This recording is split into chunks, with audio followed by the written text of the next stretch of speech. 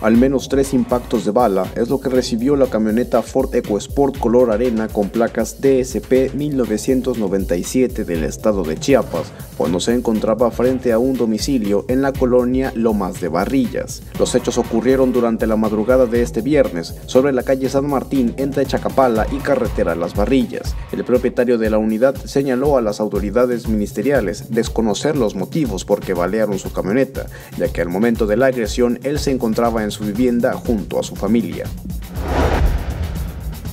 La tarde del jueves, un joven del municipio de Nanchital sufrió un secuestro virtual. Minutos más tarde, la oportuna denuncia dio buenos resultados por parte de las corporaciones policíacas, quienes localizaron a la víctima en el tramo carretero Nanchital-Ixhuatlán del sureste. A causa de los hechos, elementos de las diferentes corporaciones policíacas implementaron un operativo de búsqueda donde participaron la Secretaría de Seguridad Pública en coordinación con la Policía Ministerial, los cuales ubicaron sano y salvo al menor de edad, quien a través de una llamada telefónica fue víctima de secuestro virtual contra el portón de una vivienda en la calle Correos, esquina Vicente Guerrero. Fallidos delincuentes terminaron estampados cuando huían a bordo de una motocicleta.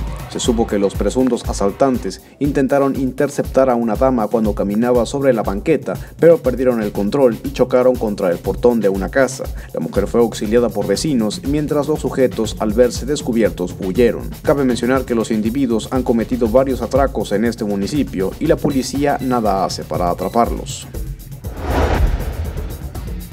Alumnas del Centro de Bachillerato Tecnológico Industrial y de Servicios Mariano Abasolo exhibieron casos de acoso sexual por parte de profesores. Fueron colocados murales en diversas áreas de la institución educativa con mensajes en el que exponen a los docentes. Prefiero reprobar a que me vuelvas a acosar. Vengo a estudiar, no a que me estudien. Se puede leer en algunas de las hojas que fueron pegadas y que incluso nombran a algunos profesores, personal administrativo y directivos. Sujetos armados privaron de la libertad a una joven cuando se encontraba en un negocio propiedad de su familia en el centro de Villa Allende. Se dijo que alrededor de las 9 horas, la fémina de 24 años fue sorprendida por los zampones cuando se encontraba en el local. Los malhechores la sometieron y obligaron a subir a una camioneta, en la cual emprendieron la huida con dirección al camino que conduce a la zona de complejos de Coatzacoalcos. Un hombre de aproximadamente 50 años recibió un impacto de bala en el pie izquierdo cuando se encontraba en un bar de Coatzacoalcos. Los hechos ocurrieron alrededor de las 21 horas del jueves en la colonia Rafael Hernández Ochoa, sobre la calle Nuño de Balboa, en la cantina denominada Tío Juan, cuando se escuchó una detonación de arma de fuego, resultando herida una persona de identidad desconocida.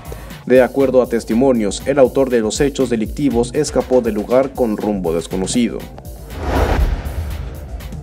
Una camioneta color blanco que había sido reportada como robada la noche del jueves, al siguiente día fue localizada ponchada en el camino a la comunidad Monte Alto. Fueron los campesinos que durante la mañana del viernes encontraron la unidad abandonada y ponchada, aparentemente acuchilladas. Horas después el vehículo fue reportado a la policía y con apoyo de una grúa fue llevado al corralón, luego puesto a disposición de la fiscal de este municipio.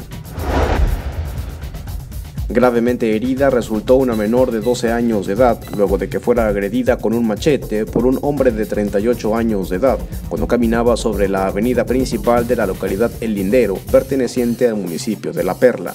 El agresor fue detenido por los habitantes y fue entregado a las autoridades policíacas, mismo que ha sido identificado como Fidencio González de 38 años, mismo que ya fue puesto a disposición de la Fiscalía General del Estado para los delitos que le resulten. Imagen del Golfo.